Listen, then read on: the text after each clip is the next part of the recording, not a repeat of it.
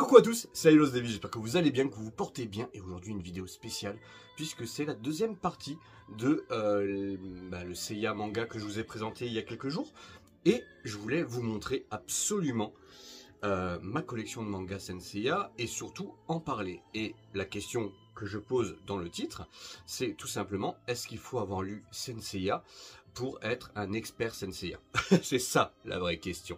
On y va on va s'intéresser au manga Senseiya et on va regarder un peu ce que j'ai dans ma collection et ce que j'aime, ce que j'aime pas. Mais je compte sur vous aussi pour euh, même me dire en commentaire le manga que vous avez préféré et le manga que vous avez détesté concernant l'univers Senseiya. C'est parti Générique Autant mettre tout le monde dans le secret tout de suite. À partir d'aujourd'hui, nous assurons la protection d'Athéna et celle de notre Seigneur. Je m'appelle Atlas et je suis capable de vaincre n'importe qui.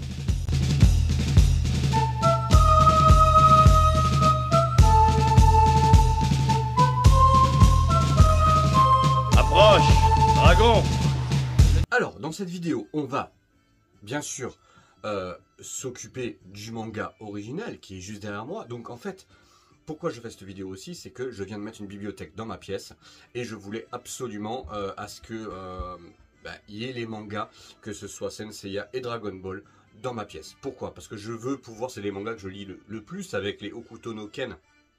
Euh, euh, Okuto no Ken, oui, c'est ce que je relis le plus souvent. Okuto no Ken, je les ai laissés dans le salon parce que euh, voilà, j'avais pas la place non plus de tout mettre. Mais ici, on a, il y a eu pas mal de changements. Hein. voilà, il y a eu pas mal, pas mal de changements dans la pièce. Vous voyez, Ici, on a toujours le coin Dragon Ball et le coin Sog, que je vous ai toujours pas présenté d'ailleurs.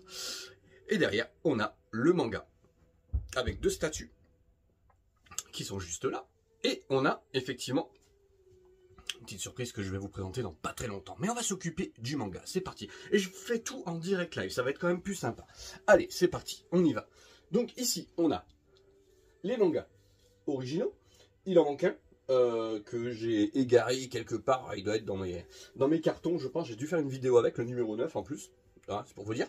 Euh, et ici, on a euh, les Lost Canvas. Ici, on a, mais je vais vous montrer, vous inquiétez pas, on va partir en caméra embarquée. ici, on a les mangas originaux. Ici, on a les deux mangas que je vais vous présenter en fin de vidéo. Ici, on a euh, donc les Next Dimension. Ici, on a le manga original, donc vous savez qu'on a eu avec la, figurine. Euh, et en bas, là, vous avez du Dragon Ball. Les Dragon Ball, on va pas en parler aujourd'hui. Et en, dessous, on a aussi euh, du Senseiya, du Dragon Ball. Mais ce sont les artbooks. Et ça, je vous en parlerai plus tard dans une autre vidéo qui sera dédiée aux artbooks que je possède. Ici, vous avez effectivement les Lost Canvas que j'ai voulu mettre. Alors, j'ai pas pu tous les mettre, donc comme ma bibliothèque est assez profonde, j'ai pu mettre des éléments derrière. Vous allez dire, mais tu as que ça, Davy, tu nous fais une vidéo sur le manga, mais tu n'as que ça. Et non Et non, et non, les amis. Regardez, je vous montre. Allez, on y va. On part en caméra embarquée et on va regarder tout de suite ce qu'il y a là derrière. Voilà. Alors là, on est sur le Lost Canvas. Là, on est sur les mangas, du coup. Euh, alors moi, ce que j'appelle les Perfect Editions, je ne sais pas si ça s'appelle exactement comme ça. Donc il y en a 22, alors que dans la série originale, il y en avait 28, de mémoire. Les deux mangas sur Asgard, euh, qui sont faits donc par un fan. Hein. Euh, les Next Dimension, on attend le tome 14 pour janvier, de mémoire. Et ici, on a le tome, le fameux tome que je vais vous montrer tout à l'heure. C'est le tome qui avait avec la figurine. Et ici, on a le Dragon Ball. Alors, j'ai pas que ça. Mais les séries que j'aime un peu moins, ben, je les ai mises derrière. Mais on va en parler quand même. On a Senseiya épisode G. Et on a ici... Ah, on voit pas très bien, mais... G Assassin. Rassurez-vous, je vais sortir un élément de chaque. Et derrière, on a les Show. Et là, la suite des Chronicles, hein, parce que tout ne rentrait pas en une ligne, malheureusement. Euh, et derrière, là, on a euh, effectivement euh, le Darkwing. Voilà. je vous montre un peu ce qu'il y a là-haut, quand même. donc, du coup, on va parler des mangas. De celui que j'aime le moins à celui que je préfère. Et on va en discuter, on va répondre à la fin à la question, est-ce qu'il est utile d'avoir lu Senseiya pour se dire tout connaître sur l'univers Senseiya. Allez, c'est parti, on passe. Du coup, je, vais faire un petit classement euh, de ceux que je préfère. Alors, ils sont juste à côté, j'ai pris un tome de chaque. De ceux que je préfère et de ceux que j'aime le moins. Alors, attention, il y a quand même un, manga qui est pas... qui est un peu hors, euh, hors, catégorie. Euh, dans le sens où... Je vais vous montrer. Alors déjà, je vais vous montrer pourquoi déjà j'ai eu l'idée de faire cette vidéo. C'est parce qu'on a eu effectivement le manga qui est magnifique.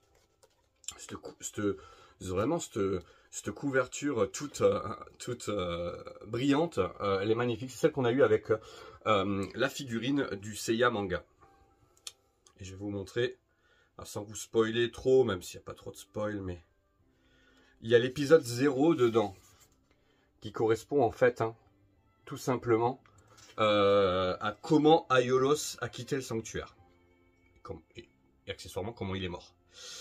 Euh, et ensuite, on a effectivement le manga classique qui commence, qui est, euh, ma foi, fort sympathique. Alors, euh, pourquoi je vous montre ça? Parce que du coup, ce manga est, est, super beau, mais moi, j'ai une nette préférence pour ce manga-là, qui est du coup la Perfect Edition. Moi, je l'aime beaucoup, celui-ci. Et euh, déjà, le papier à l'intérieur et le papier est glacé, etc. Moi, je, trouve qu'il est plus agréable à lire. Déjà, il, a un format un peu plus gros, comme vous pouvez voir sur un manga classique. Il est plus grand. Donc du coup, automatiquement, il est super, super, super sympa. Et euh, j'essaie de vous montrer pas des, images trop euh, sanglantes, on sait jamais. Mais euh, voilà, bon, ça c'est l'un des trois premiers mangas qu'on aime ou qu'on n'aime pas le style de Masami Kurumada. en tout cas, c'est quand même lui qui nous a donné l'amour de Senseiya avec l'anime bien sûr, mais s'il n'y avait pas eu ces mangas, l'anime n'aurait jamais existé, qu'on soit bien clair. Euh, ensuite, je vais vous faire par euh, ordre, alors pas par ordre de préférence, je vous le dirai après, quoique si, on va faire par ordre de préférence, ça va être plus sympa. Donc du coup, je vous ai montré cela, puisque c'est quand même la base de tout, on va partir de celui que j'aime le moins. Alors celui que j'aime le moins,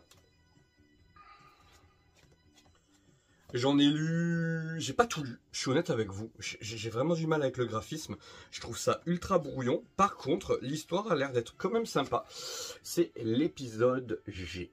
Épisode G, pour moi, euh, je regarde hein, quand même sur, euh, sur ce qu'il y a.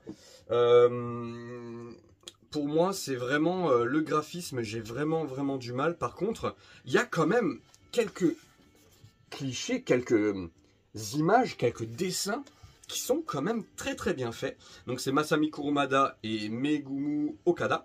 Est-ce que c'est lui qui a fait? Oui, c'est lui qui a fait l'épisode, bien sûr, le Senseiya, épisode G Assassin. Alors, pourquoi je le mets un peu hors catégorie, euh, même si les deux, alors qu'on soit clair, hein, euh, alors, je vais vous mettre celui-là, c'est celui que j'apprécie le moins. Pourquoi? Tout simplement parce que euh, j'ai pas trop accroché à l'histoire. Par contre, on va dire que c'est un peu avec des dessins actuels. par exemple, alors pour moi c'est celui, que j'apprécie le moins. Je trouve qu'il fait trop pas, assez shonen quoi. Voilà. Euh, voilà, on a, on, a, on a des dessins comme ça. Je dis pas que c'est moche, loin de là, ce n'est pas moche, mais c'est pas le style que j'aime. Donc critiquer, oui, mais critiquer, euh, alors je n'ai lu que le premier, je n'ai que le premier. Euh, peut-être que si je me trouve les autres en occasion, je, les ferai, voilà, mais je les achèterai pas neufs pour le coup parce que j'ai pas, j'ai pas kiffé le premier, voilà. c'est un peu trop hum, dessin attention, tout est relatif, euh, féminin, je trouve que c'est, ça fait pas assez euh, shonen pour moi. Euh, mais mais, mais c'est pas, c'est pas affreux. En tout cas, c'est pas ultra désagréable à lire. Mais j'ai lu que le premier, je lirai pas les autres. Alors, celui-ci, c'est vraiment celui-ci que je mets en dernier parce que c'est celui que j'aime le moins. Ensuite, ceux-là, ils ont le mérite au moins, donc du coup, épisode G et épisode G Assassin, ils ont au moins le mérite d'essayer de créer une histoire, quelque chose comme ça. Alors, j'ai pas tout lu en termes d'épisode G, épisode G Assassin. Je les ai pas tous, euh, notamment sur l'épisode euh, G Assassin, parce qu'il y avait certains tomes qui étaient très chers. Euh, mais, mais, mais, je voulais vous montrer, voilà, bon, on va voir. Hein. Allez, voilà, c'est Iki.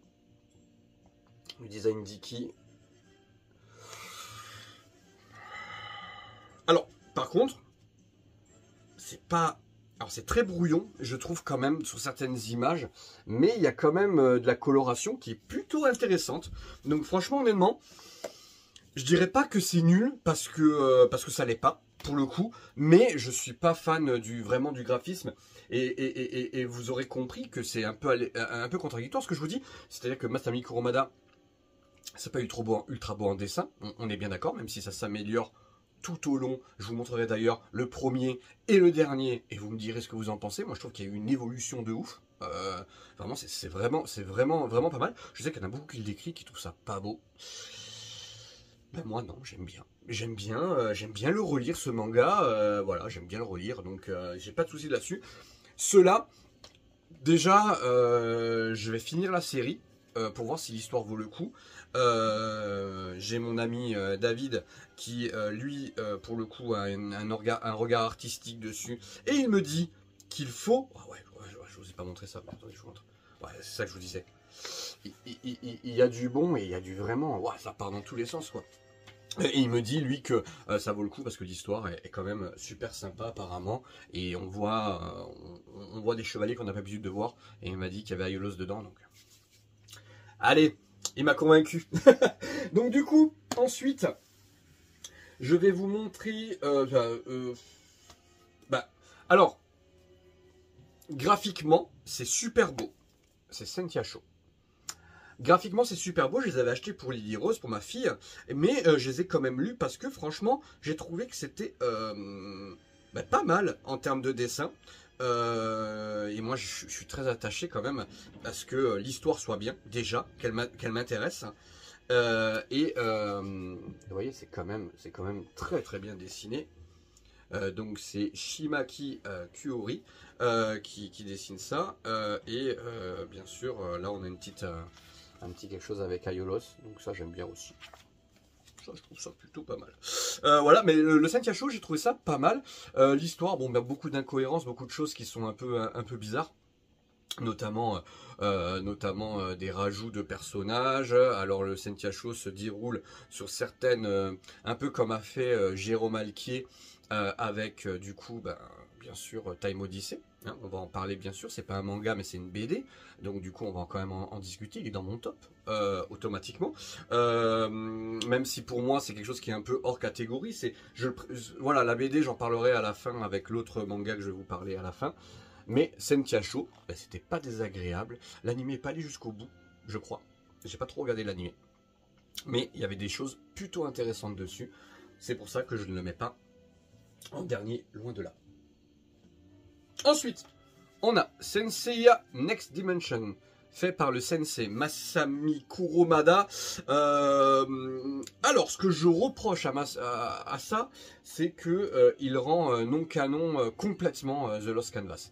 Et, ça, je, en veux un peu à Masami Kuromada parce que pour le coup, bah, vous aurez compris que hein, il n'y a plus de suspense. Si vous me suivez ma chaîne, vous aurez bien compris quel est mon manga préféré de Senseiya. Donc, pareil, je trouve qu'il y a des trucs plutôt, plutôt pas mal. C'est pas, c'est loin d'être moche, vraiment.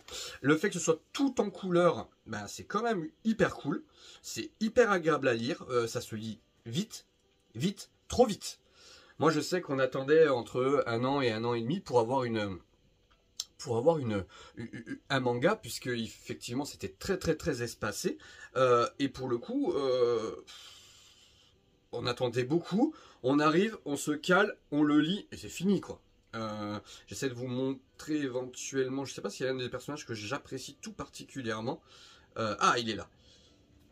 Il est là. Alors c'est... Je regarde juste, hein, si je vous spoil pas trop trop quand même, faudrait pas que je vous spoil. Bah, c'est pour ceux qui l'ont pas lu, je sais qu'il y en a certains qui l'ont pas lu, donc... Euh, je regarde... Ouais, je vais vous montrer ça. Shijima, le chevalier de la Vierge, que je trouve hyper classe, hyper hyper classe. Alors autant il y a des, personnages de Next Dimension que j'aime pas spécialement, autant euh, le chevalier de la Vierge j'aime bien. Je trouve qu'il est super cool. Euh, bien sûr on a, ben, on a Kiki, hein, euh, voilà, on a Kiki du Bélier. je regarde un peu ce qu'il y a dedans. Vous savez que oh, c'est tellement espacé les Next Dimension que je peux, je crois que pour les derniers tomes, je vais tout relire parce que je me souviens de quasiment rien.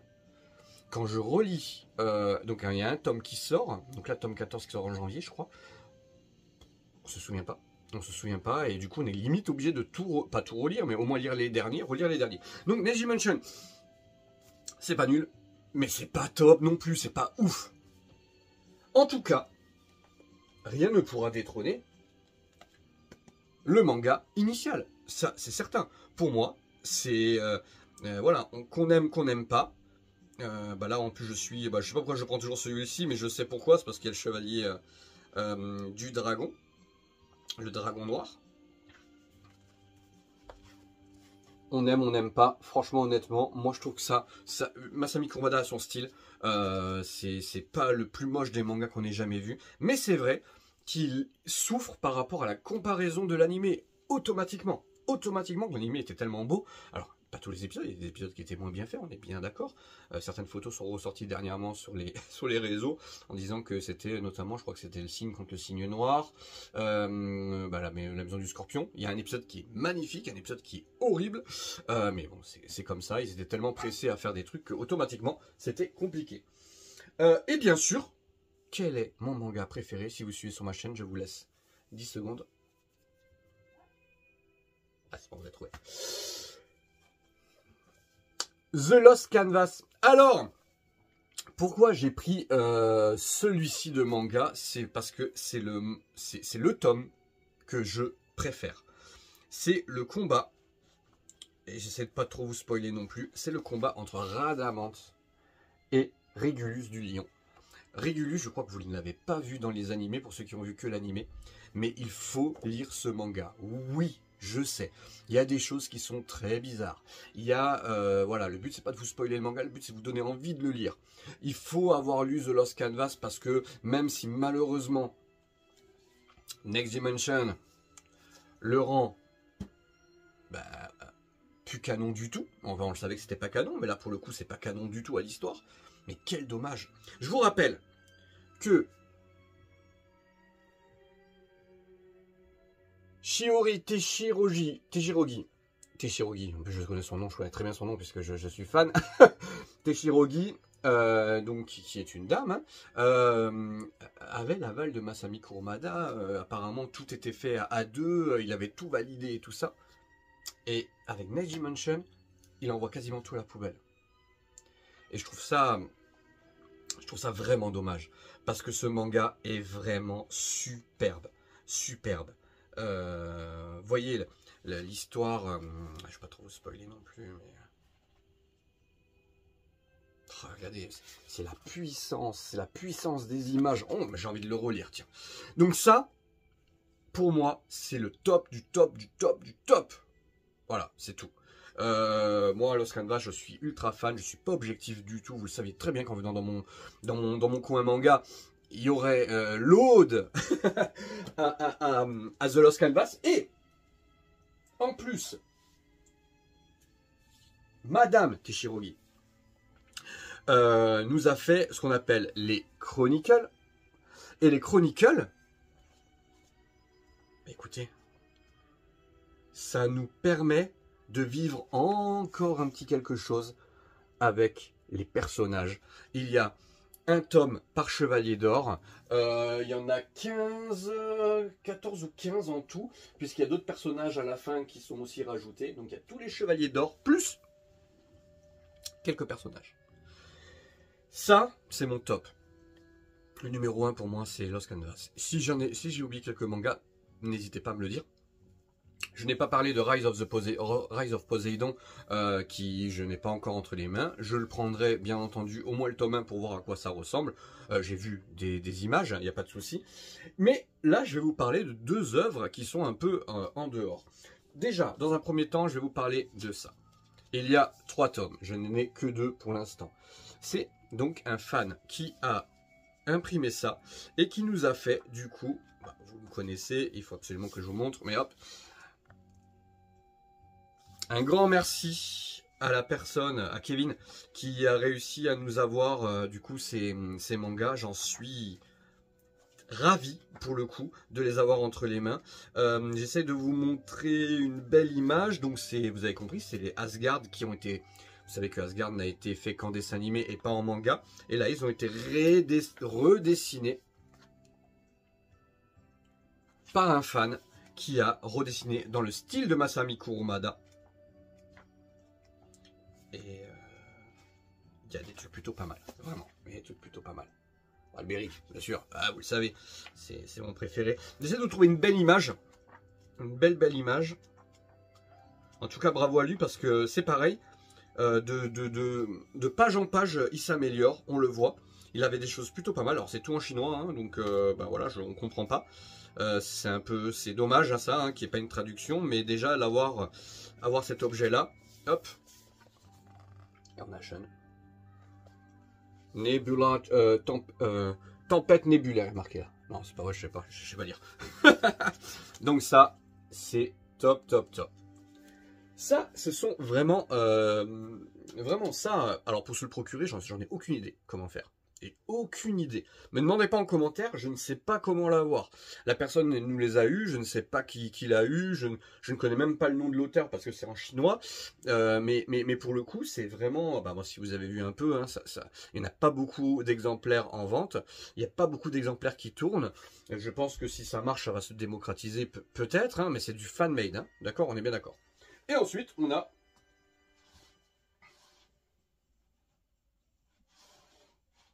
Alors, j'essaie de, vous sortir ça. C'est mon coin BD qui est en bas en fait, hein, du coup. Je pense que c'est celui-ci. Alors ça, hop, on les remettra après, c'est pas un souci.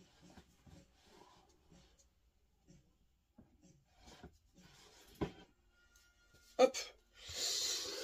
Ici, on a le tome 2 et bien sûr un gel tome 1 aussi. Euh, et le tome 1 je l'ai en collector mais je l'ai aussi, aussi en version normale. Et le tome 2 il faudra que je me le reprenne du coup en, édition normale à, l'occasion. Euh, donc petite dédicace de Jérôme, merci Jérôme. Et puis en plus, euh, voilà. Un grand merci à toi Jérôme de continuer à faire vivre euh, Senseiya parce que franchement honnêtement euh, moi je me régale. Euh, une petite petite dédicace. Tiens et dans le tome 1 bah tiens je raide avec vous je me souviens plus. Le tome 1 je me souviens plus. La dédicace que j'avais eu ah non mais elle y est plus. Il m'avait fait en couleur le Ayolos et ouais c'est ça mais fait en couleur le, le donc euh, voilà hein, le, tome, le tome 1. On attend avec impatience le top 3, Jérôme euh, et Arnaud. Hein, parce que euh, du coup il y a Arnaud Dolène aussi, hein, bien sûr, dans, dans, l'affaire. Donc franchement honnêtement, j'ai qu'une hâte, c'est bah, de, voir Yoga, parce que ça y est, c'est bon, ça a été... bah voilà, moi je, je trouve qu'il dessine ultra bien Yoga. Je sais pas ce qui m'arrive en ce moment avec Yoga, j'ai vraiment un gros souci. Euh, vous savez que ça a toujours été Shiryu mon favori et en ce moment j'aime beaucoup yoga, je sais pas pourquoi. ça doit être l'hiver, à tous les coups. Mais c'est génial. Ça c'est top. Merci Jérôme. Merci, merci pour tout ce que tu fais pour la communauté Senseiya. Parce que euh, ben, tu, tu, tu, tu, le fais pas à moitié, tu le fais avec passion. Et ça, franchement, c'est super cool. Voilà, je vous ai présenté un peu ce qu'il y avait en termes de manga, même une petite BD, donc ça c'est cool, mais même si vous la connaissez tous, celle de Jérôme, qu'on aime ou qu'on n'aime pas euh, tous ces mangas, il faut respecter les auteurs. C'est des artistes et ils font les choses bien et ça je trouve ça je trouve ça super cool. Allez, on passe à la conclusion de la vidéo. Est-ce qu'il faut avoir lu tout ça pour être un fan de Senseiya? Alors, est-ce qu'il faut avoir lu tous ces mangas pour être fan de Senseiya? La réponse c'est non. Euh, est-ce qu'il faut avoir lu tous ces mangas-là pour se dire connaisseur de Senseiya? La réponse pour moi est non. Euh, je suis désolé, je me sens pas diminué par rapport aux autres parce que j'ai pas fini Assassin ou Assassin G. Donc il faut euh, vraiment, si vous en avez envie, lire les mangas. Maintenant, pourquoi Pour moi, c'est quand même important d'avoir lu les mangas? Quand on est sur des groupes, qu'on collectionne les mid close et que on fait, bah, du coup, on parle de l'animé, etc. Euh, je pense que c'est bien de pouvoir comparer euh, l'œuvre originale, le manga, avec l'animé derrière. Senseiya, ce n'est pas que le dessin animé, c'est aussi le manga. Et euh, bien sûr, alors il y en a plein qui ne font pas les connaisseurs hein, sur les réseaux, hein, bien, entendu. Hein. Ils sont là, ils kiffent Senseiya, ils kiffent les, figurines, et puis voilà, basta. Ils n'ont pas besoin de dire le manga. Maintenant, honnêtement, sur la perfecte édition, moi, si je dois vous donner au moins trois œuvres à lire, pour moi, il faut euh, la perfecte édition aujourd'hui est trouvable à un prix très très correct. Euh, elle est encore trouvable pour le coup. donc pour moi, la perfecte édition, il y a 22 tomes. Franchement, honnêtement, vous en lisez un par mois au pire, euh, enfin voilà, il n'y a pas de souci, mais ça vous permet, euh, notamment à partir, euh, pour moi, bah, c'est ce que je voulais vous montrer d'ailleurs, entre le tome 1, on prend un dessin au hasard, tome 1, ok, ok, je peux comprendre hein, qu'on dise que c'est pas ouf, hein. je, le comprends tout à fait, hein. c'est vrai, c'est vrai, c'est pas ouf et le tome 22. Ouais, ceux qui sont sur ma chaîne, euh, je vais pas vous spoiler euh, la fin, on est bien d'accord. Hein. hein. vous la savez, vous la connaissez. Hein.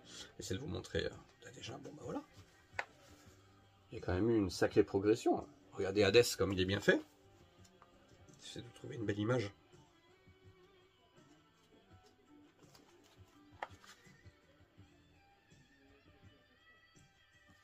Donc, c'est super cool.